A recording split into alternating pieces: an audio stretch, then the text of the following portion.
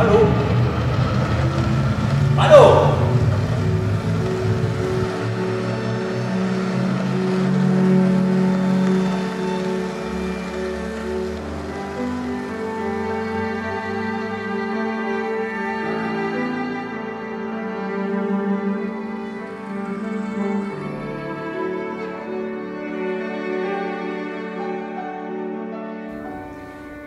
Es war Sokrates in Platons Phaedros-Dialog, der erklärte, die Bäume und Felder nun wollen wir nichts sagen, wohl aber die Menschen in der Stadt. Damit war das zivilisatorische Programm des Abendlandes formuliert. Es folgten Operationen des einsamen Verstandes, der darüber bestimmt, was als Bild der Welt gilt.